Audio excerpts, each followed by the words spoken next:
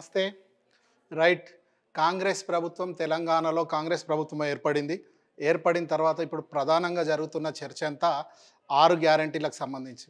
ఎందుకంటే కాంగ్రెస్ పార్టీ ఆరు గ్యారంటీలు ఏవైతే ఇచ్చిందో చాలా ఆకర్షణ ప్రజా ఆకర్ష ఆకర్షక విధంగా ఉండడం కారణంగా ప్రజలంతా ఆ పార్టీని ఎన్నుకోవడం జరిగింది. సో కాంగ్రెస్ ఎప్పుడైనా వంద రోజులలో ఈ ఆరు గ్యారంటీలను అమలు చేస్తామని చెప్పడం జరిగింది. దాంట్లో ఒక రెండు గ్యారంటీలకు సంబంధించి ఇప్పటికే అమలు మనం చూస్తున్నాం. కానీ ఇక్కడ ప్రధానంగా చర్చ ఏంటంటే ఇప్పుడు ఈ కాంగ్రెస్ ప్రభుత్వానికి సంబంధించి ఎవరైతే మంత్రులు ఉన్నారో ఇంకా కొంతమంది శాసనసభ్యులు ఎవరైతే ఉన్నారో వాళ్ళు ఇప్పుడు మాట్లాడుతున్న మాట ఏంటంటే రాష్ట్ర ఖజానా ఖాళీగా ఉంది. రాష్ట్ర ఖజానాకు సంబంధించి డబ్బులు లేవు అని చెప్పి మాట్లాడుతున్నారు. ఎందుకంటే మనం కర్ణాటకలో చూసినాం ఇతర రాష్ట్రాల్లో కాంగ్రెస్ హామీ ఇచ్చిన వంద రోజులలో వాళ్ళు ఏమైతే గ్యారంటీలు హామీ ఇచ్చిరో వాటిని చేయగలగడం మనం చూసినాం కానీ తెలంగాణకు వచ్చేసరికి మాత్రం ఒక మార్పు వాతావరణం కనబడుతుంది. వాళ్ళు మాట్లాడుతున్న విధానం చూస్తుంటే ఇప్పుడు ఖజానా ఖాళీగా ఉంది కనుక మేము ఈ ఆరు గ్యారెంటీలు ఏవైతే ఉన్నాయో దానికి సంబంధించి పూర్తిగా వంద రోజులలో అమలు చేస్తామని వాళ్ళు చెప్తున్నప్పటికీ ఇక్కడ మన రాష్ట్రంలో ఉన్న ఖజానాకు సంబంధించి డబ్బులు చూసిన తర్వాత మరి ఇది జరుగుతుందా లేదా అనేది ఒక అనుమానం అయితే మొదలైంది. సో మనం ఒకసారి నిజానికి ఇది చాలా కష్టమైన టాస్కే అని చెప్పాలి. ఈ ఆరు గ్యారెంటీలు ఏవైతే ఉన్నాయో అవి సాధారణంగా అమలు చేయడం అయితే చాలా కష్టమైన పనే. గతంలో కూడా మనం చెప్పుకున్నాం. ఈ అంశాన్ని చాలామంది ఆర్థిక నిపుణులు కూడా మనకు గతంలో చెప్పడం జరిగింది. ఎందుకంటే ఆరు గ్యారంటీలకు సంబంధించి ఆర్థిక పరంగా భారం ఎక్కువ అవుతుందని చెప్పి చాలామంది చెప్పడం జరిగింది. సో ఇప్పుడు ఖజానా ఖాళీగా ఉంది అని చెప్తున్న కాంగ్రెస్ ప్రభుత్వానికి ఈ విషయం ముందే తెలుసు. తెలంగాణ ప్రభుత్వానికి సంబంధించి తెలంగాణ రాష్ట్ర ఎన్నికలకు సంబంధించి ఏదైతే అధికారంలోకి రావాలనుకుంటున్నామో ఈ అధికారంలోకి వచ్చే ముందు వాళ్ళ హామీలు ఇచ్చినప్పుడు మేము అన్ని లెక్కలు వేసుకున్నాం. అన్ని లెక్కలు చూసిన తర్వాత రాష్ట్రానికి వచ్చే ఆదాయము అదేవిధంగా అప్పులు అన్నీ చూసుకున్న తర్వాతే మేము ఈ హామీలు ఇవ్వడం జరిగిందని చెప్పి ఇక్కడ కాంగ్రెస్ వాళ్ళు చెప్పడం జరిగింది. సరే ఇప్పుడు ఖజానాకున్న లెక్క ఎంత? మరి ఈ ఆరు హామీలకు సంబంధించి వీళ్ళు అమలు చేయడం మొదలు పెడితే ఎంత భారం పడుతుంది అనేది ఒక్కసారి మనం లెక్కలేసుకుందాం. మరి ఆ లెక్కలకు ఇప్పుడున్న ఖజానాకి ఏమన్నా మ్యాచ్ అవుతుందా లేదా అనేది మనం ఒకసారి చూద్దాం. కాంగ్రెస్ ఇచ్చిన ఆరు గ్యారెంటీలు ఏందనేది ముందు ఒకసారి చూసి ఆ ఆరు గ్యారెంటీలకు ఎంత డబ్బులు ఖర్చు అవుతాయి అనేది మనం ఒకసారి లెక్కేసుకుందాం. రైట్. ముందుగా కాంగ్రెస్ అధికారంలోకి రాకముందు మనకు చెప్పిన అంశం ఏంటంటే ఈ ఆరు గ్యారంటీలను మాత్రం వంద రోజులలో పూర్తి చేస్తామని చెప్పి చెప్పడం జరిగింది. ఈ ఆరు గ్యారంటీలకు సంబంధించి మనం ఒక్కొక్కటిగా తీసుకుందాం.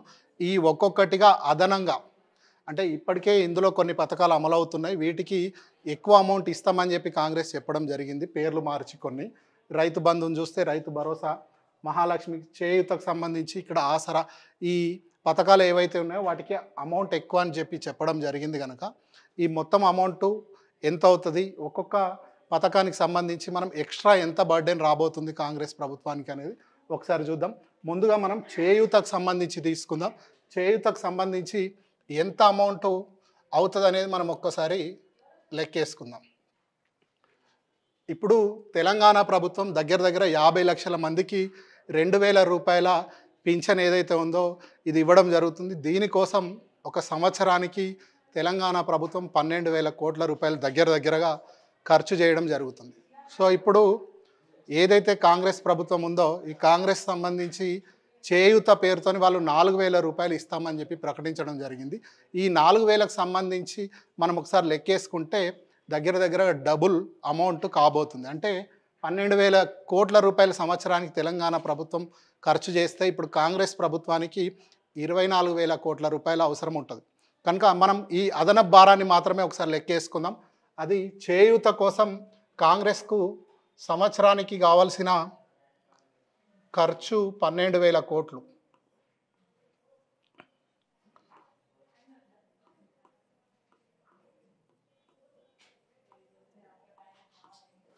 పన్నెండు వేల కోట్లు చేయూత కోసమే కావాలి.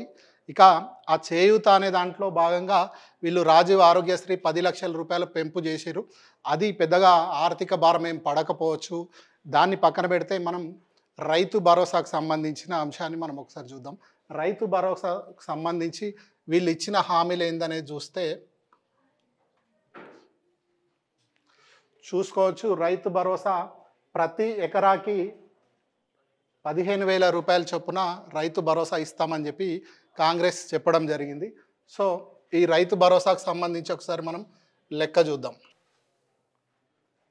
రైతు భరోసా అంటే ఇప్పుడు తెలంగాణ ప్రభుత్వం రైతు బంధు పేరుతోనే వేస్తుంది. అమౌంట్ దాన్నే వీళ్ళు రైతు భరోసా పేరుతోని ఎకరాకి సంవత్సరానికి పదిహేను వేల రూపాయలు ఇస్తామని చెప్పడం జరిగింది. అంటే ఇప్పుడు తెలంగాణ ప్రభుత్వం పదివేల రూపాయలు ఇస్తే సంవత్సరానికి పదిహేను వేల కోట్ల రూపాయల భారం పడుతుంది. సో కాంగ్రెస్ పదిహేను వేలు ఇస్తా అని చెప్పి చెప్పడం కారణంగా వాళ్ళకు పడే భారం అదనంగా ఏడు వేల ఐదు వందల కోట్లు. అంటే మొత్తం రైతు బంధుకు కావాల్సింది ఇరవై రెండు వేల ఐదు వందల కోట్లు అయితే గత ప్రభుత్వం పదిహేను వేల కోట్ల వరకు ఖర్చు పెట్టింది కనుక ఇప్పుడు కాంగ్రెస్ మీద అదనంగా భారం పడేది ఏడు వేల ఐదు వందల కోట్లు.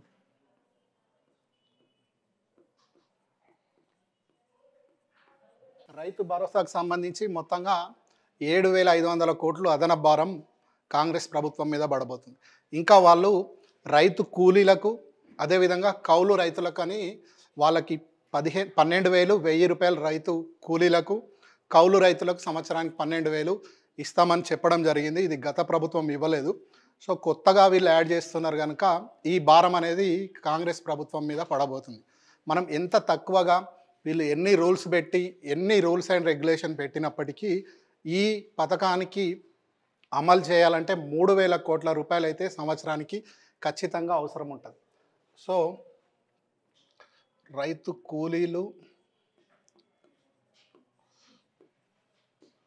కౌలు రైతులు మూడు వేల కోట్లు కావాలి. ఇంకొక అంశం ప్రధానంగా వీళ్ళు వరి మద్దతు ధర ఐదు వందల రూపాయలు క్వింటాల్కు పెంచి ఇస్తామని చెప్పి చెప్పడం జరిగింది. ఇది గత ప్రభుత్వంలో లేదు వీళ్ళు కొత్తగా పెట్టింది. ఈ ఐదు వందల రూపాయల చొప్పున అంటే తెలంగాణలో ఇప్పుడు మూడు లక్షల మెట్రిక్ టన్నుల వరకు పంట పండుతుంది. సో మూడు లక్షలకు మనం లెక్కేసుకుంటే దగ్గర దగ్గర పదిహేను వందల కోట్ల రూపాయలు భారం కాంగ్రెస్ ప్రభుత్వం మీద పడబోతుంది. రైతులకు సంబంధించి అదొకటి మద్దతు ధర.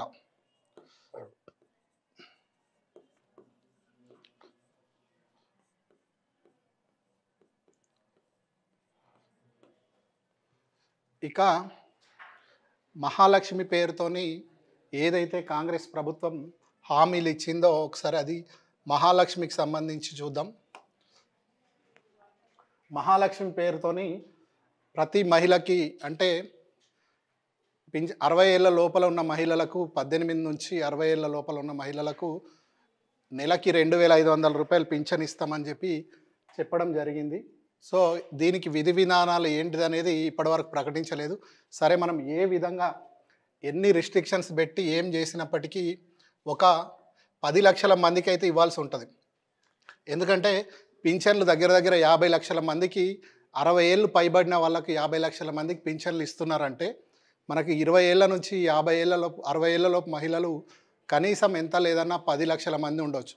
సో మనం పది లక్షల మందికే ఒకసారి లెక్కేసుకుంటే మహాలక్ష్మి పథకం కింద సంవత్సరానికి ఐదు వేల కోట్లు కాంగ్రెస్కి అదనంగా ఖర్చు పెట్టాల్సి ఉంటుంది. ఇక దీనికి తోడు మహాలక్ష్మిలో భాగంగా గ్యాస్ సిలిండర్లకు సంబంధించి సబ్సిడీ గ్యాస్ సిలిండర్ని ఐదు వందలకే ఇస్తామంటున్నారు. అంటే ఇప్పుడు దగ్గర దగ్గర తొమ్మిది వందల యాభై ఐదు రూపాయలు ఏమో నడుస్తుంది అంటే వెయ్యి రూపాయలు ఒక సిలిండర్కి వేసుకుంటే ఐదు వందల రూపాయలు సబ్సిడీ ఇస్తా అంటున్నారు. అంటే తెలంగాణలో ఒక యాభై మూడు లక్షల రేషన్ కార్డులు ఉన్నాయని మనం గతంలో చెప్పుకున్నాం. అంటే చాలా రోజుల నుంచి తొంభై మూడు లక్షల రేషన్ కార్డులు ఉన్నాయని లెక్క ఉంది. అయితే తొంభై మూడు లక్షల నుంచి చాలా రోజుల నుంచి రేషన్ కార్డులు ఇవ్వలేదు కనుక ఇప్పుడు మనం లెక్క చూసుకుంటే దగ్గర దగ్గర కోటి మంది ఈ సిలిండర్ పథకానికి సంబంధించి అర్హులు ఉంటారు. అంటే కోటి మందికి సంవత్సరానికి ఆరు సిలిండర్లు మనం వేసుకున్నా కూడా ఆరు కోట్ల సిలిండర్లు మనకు అవసరం ఉంటాయి. ఆరు కోట్ల సిలిండర్లకి దగ్గర దగ్గర ఐదు వందలు అంటే మూడు వేల కోట్ల రూపాయలు ఖర్చు కాబోతుంది.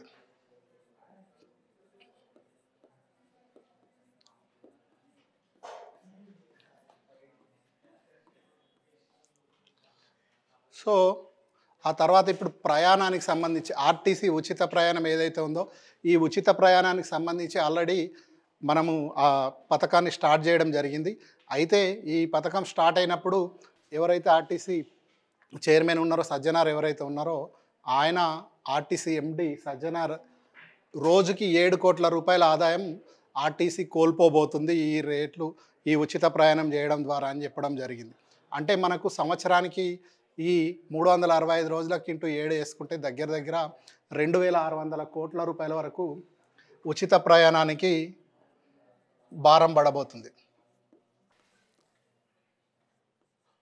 అదేవిధంగా ఇంకొక ప్రధానమైన అంశం గృహజ్యోతి. గృహజ్యోతికి సంబంధించి కా కాంగ్రెస్ ప్రభుత్వం గృహజ్యోతి అని చెప్పి ఒక పెద్ద మంచి పథకం అంటే ఇది కరెంటుకు సంబంధించి చాలామంది కనెక్ట్ అయ్యే అంశమే. ఇది కూడా కోటి మంది ఇల్లులు ఉన్నాయనుకుంటే రెండు వందల యూనిట్ల వరకు ఫ్రీ ఇస్తామని చెప్పి చెప్పడం జరిగింది.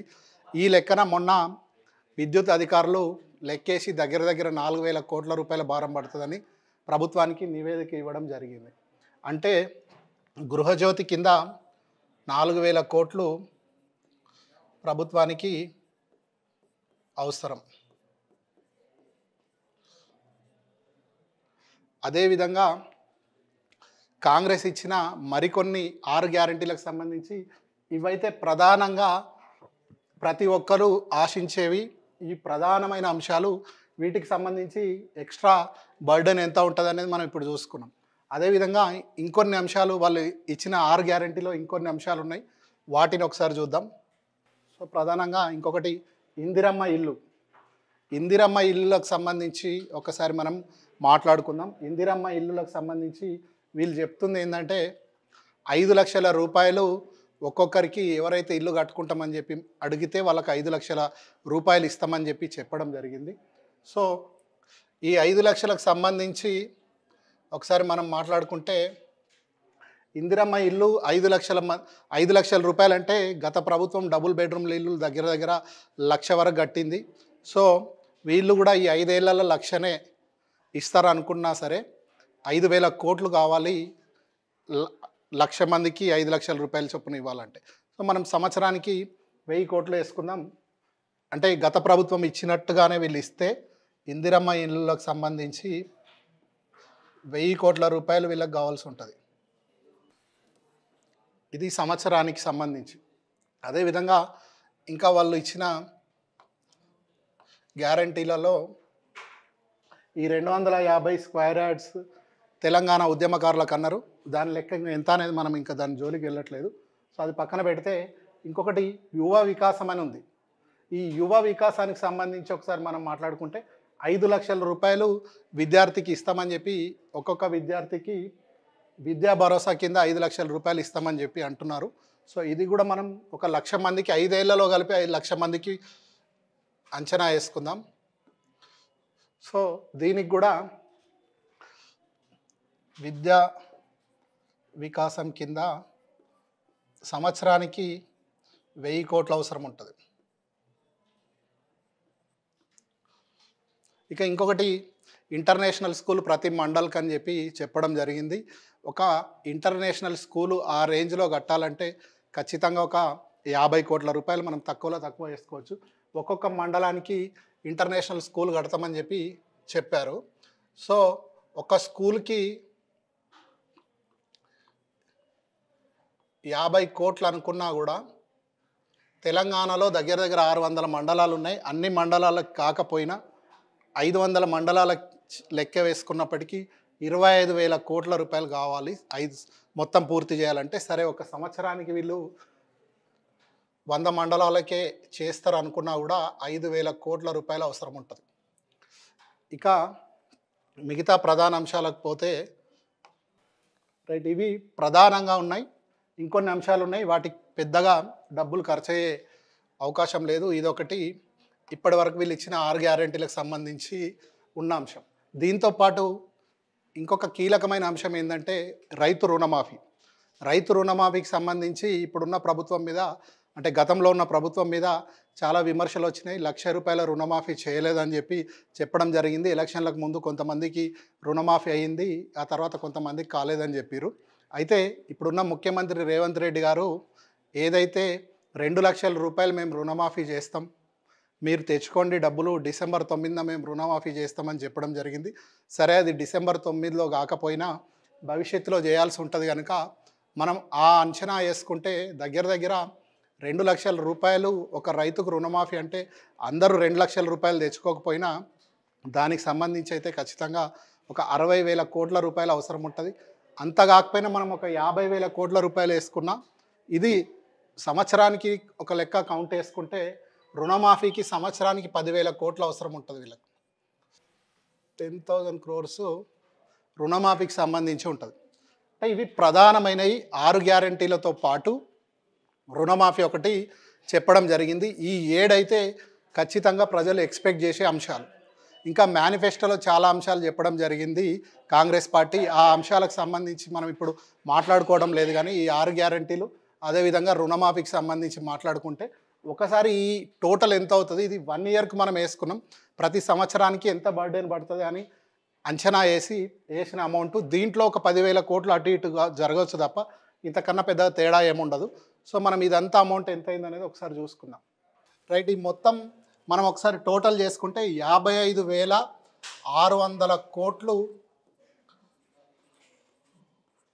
అదనంగా భారం పడబోతుంది. ప్రతి సంవత్సరానికి వీళ్ళు ఇచ్చిన హామీలకు సంబంధించి. సో మనం ఒకసారి చూద్దాం లెక్క.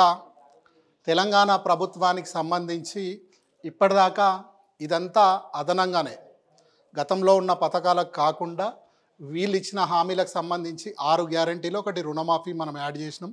మొత్తంగా యాభై ఐదు వేల ఆరు వందల కోట్లు టోటల్గా అవసరం ఉంది. అయితే తెలంగాణ బడ్జెట్కు సంబంధించి మనం ఒకసారి లెక్కలేసుకుంటే ఇప్పుడు ప్రభుత్వం ఈ సంవత్సరం అంటే రెండు వేల ఇరవై మూడు రెండు వేల ఇరవై నాలుగు ఆర్థిక సంవత్సరానికి ప్రభుత్వానికి రెండు లక్షల పదిహేను వేల కోట్ల ఆదాయం ఉంటుందని చెప్పి లెక్కలేసుకోవడం జరిగింది. రెండు లక్షల పదిహేను వేల కోట్ల ఆదాయం వస్తే ఈ పూర్తి స్థాయిలో ఆదాయం వస్తే గతంలో ఉన్న పథకాలకు మాత్రమే సరిపోతుంది. ఈ యాభై ఐదు వేల కోట్లకు సంబంధించిన ఆదాయము దీని ద్వారా ఏమాత్రము అవకాశం లేదు ఈ అమౌంట్ వచ్చిన. కానీ నిజానికి ఇప్పటి వరకు లక్షా పదిహేను వేల కోట్ల రూపాయలు మాత్రమే రావడం జరిగింది డిసెంబర్ మనకు నవంబర్ వరకు. అంటే ఇంకా మార్చి వరకు టైం ఉంది. మార్చి వరకు మనకు తెలిసి ఖచ్చితంగా లక్షా డెబ్బై వేల కోట్ల కన్నా ఎక్కువగా ఆదాయము దాటి వచ్చే అవకాశం అయితే లేదు. మరి ఆల్రెడీ నలభై వేల కోట్ల రూపాయల లోటు ఉండబోతుంది. గతంలో ఉన్న పథకాలకు సంబంధించి. మరి ఇప్పుడు ఇక్కడ ఏదైతే కాంగ్రెస్ ప్రభుత్వము యాభై ఐదు వేల కోట్ల యాభై ఐదు వేల ఆరు వందల కోట్లు అదనంగా కావాలంటే ఈ లోటుతో మనం ఈ లోటును కూడా కలిపితే దగ్గర దగ్గర ఎనభై వేల కోట్ల రూపాయలు అవసరం ఉంటుంది ప్రతి సంవత్సరానికి. మరి ఇది చాలా అబ్నార్మల్గా ఉంది. ఇదైతే సాధ్యమయ్యే అవకాశం ఏమాత్రం లేదు. గతంలోనే చాలామంది ఆర్థిక నిపుణులు చెప్పడం కూడా జరిగింది. అయితే కాంగ్రెస్ వాళ్ళు కర్ణాటకలో మేము అమలు చేసినామని చెప్పి చెప్తున్నారు కానీ కర్ణాటకకు సంబంధించి మనం ఒకసారి లెక్కేసుకుంటే కర్ణాటకలో రైతు బంద్ అనేది లేదు. అదేవిధంగా ఈ పింఛన్ నాలుగు వేల రూపాయలు లేవు. కనుక ఈ రెండు ప్రధానమైన ఖర్చు ఏదైతే ఉంటుందో అది కర్ణాటకలో లేకపోవడం కారణంగా కాంగ్రెస్కి అక్కడ అమలు చేయడానికి ఈజీ అయింది కానీ తెలంగాణకు సంబంధించి మాత్రం చాలా కష్టంగా ఉంటుంది. అదేవిధంగా ఇప్పుడు మనం చూసుకుంటే ఇంకా మేనిఫెస్టోకి సంబంధించి చాలా అంశాలు వాళ్ళు చెప్పడం జరిగింది. ఇంకా దానికి సంబంధించి మనం మాట్లాడాల్సిన అవసరం లేదు. అయితే ఇప్పుడు ఈ చర్చ ఎందుకంటే ఇప్పుడున్న మంత్రులు అదేవిధంగా ఎమ్మెల్యేలు అంతా గత ప్రభుత్వం అప్పులలో ముంచేసిపోయింది. గత ప్రభుత్వం మాకు అప్పులను ఇచ్చేసింది. ఇప్పుడు మేము శ్వేతపత్రం రిలీజ్ చేస్తామని చెప్పి మాట్లాడుతున్నారు. కానీ మనం మాట్లాడుకోవాల్సిన అంశం ఏంటంటే తెలంగాణ రాష్ట్రానికి ఎంత అప్పు ఉంది ఎంత ఆదాయం ఉంది ఏంది అనేది గత ఆర్థిక బడ్జెట్ సందర్భంగానే ప్రభుత్వం లెక్కలు చెప్పడం జరిగింది. అప్పు ఎంత ఉందన్న అంశాన్ని ప్రతి సందర్భంలో కాంగ్రెస్ నాయకులు చెప్పడం జరిగింది. డిస్కామ్లకు సంబంధించి ఇప్పుడు గృహజ్యోతి పథకాన్ని అమలు చేయాలంటే ఎనభై వేల కోట్ల అప్పు డిస్కామ్లకు ఉందని చెప్పి ఏదైతే చెప్తున్నారో అదంతా కూడా ఈ హామీలు ఇస్తున్నప్పుడే ఈ ఆరు గ్యారంటీలు అదేవిధంగా రుణమాఫీ చేస్తామని చెప్పినప్పుడే కాంగ్రెస్ పెద్దలకు ఈ లెక్క అంతా తెలుసు. తెలిసిన తర్వాత కూడా మేము ఆదాయాన్ని పెంచే అవకాశం మాకుంది. ఆదాయాన్ని పెంచుతాం. ఖచ్చితంగా ఆరు గ్యారెంటీలను అమలు చేస్తామని చెప్పడం జరిగింది. కానీ ఇప్పుడైతే గత ప్రభుత్వం మొత్తం అప్పుల్లో పెట్టింది. కనుక మాకు ఇయ్యలేకపోతున్నాం అని చెప్పి ఒక మాట ఏదైతే మాట్లాడుతున్నారో దాన్ని చూసిన తర్వాత మనం ఈ లెక్కలు వేసుకుంటే ఇప్పుడు ఉన్న ఆదాయానికి సంబంధించి గతంలో ఉన్న ప్రభుత్వ పథకాలను అమలు చేయడమే కష్టంగా కనిపిస్తుంది. మరి యాభై ఐదు వేల ఆరు వందల కోట్లు. దీంట్లో కొన్ని చేయలేకపోయినా సరే ఒక ముప్పై వేల కోట్లైనా అదనంగా కావాలి. ఈ ముప్పై వేల కోట్లు అదేవిధంగా గతంలో లోటు ఇప్పుడు మనం అంచనా వేస్తున్న దానికన్నా లోటు ఎక్కువ ఉంది. ఇవన్నీ కావాలంటే మరి ఏ విధంగా ఆదాయాన్ని పెంచుతారు అనేది మనకు అర్థం కాని విషయం. ఎందుకంటే అబ్రగదబ్ర అనిపోతే ఒక రోజులో ఒక సంవత్సరంలో యాభై వేల కోట్లు ఒక ఏడాదిలో పెరగడం అనేది ఇంపాసిబుల్ మరి అది ఎట్లా సాధ్యమవుతుంది అనేది అర్థం కాని పరిస్థితి.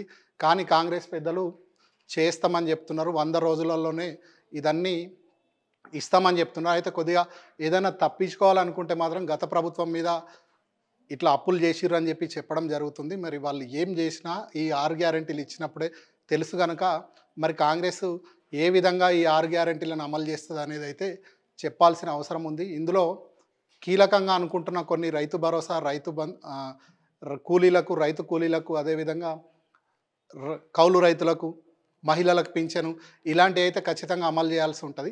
మరి ఆర్థికంగా ఏ విధంగా చేస్తుంది అనేది అర్థం కాని పరిస్థితి ఉంది. ఇప్పటికే చాలామంది ఆర్థిక నిపుణులు ఇది అసాధ్యమని చెప్పడం జరిగింది. అయినా కాంగ్రెస్ ప్రభుత్వానికి సంబంధించిన ఎమ్మెల్యేలు కానీ మంత్రులు కానీ మేము ఖచ్చితంగా వంద రోజులలో ఇది అమలు చేసి చూపిస్తామంటున్నారు. మరి అది ఎట్లా సాధ్యమవుతుంది అనేది మనం చూద్దాం భవిష్యత్తులో. వంద రోజులలో వీళ్ళు దీంట్లో ఎన్ని అమలు చేస్తారు ఏందనేది చూడొచ్చు. ఇప్పుడు ఏదైతే ఉచిత ప్రయాణం అంటున్నారో ఈ పది లక్షల బీమా ఏదైతే పెంచారో అది ఇప్పటికిప్పుడు రాష్ట్ర ప్రభుత్వం మీద ఎలాంటి భారం పడని పథకాలు కనుక వాటిని అమలు చేయడం జరిగింది.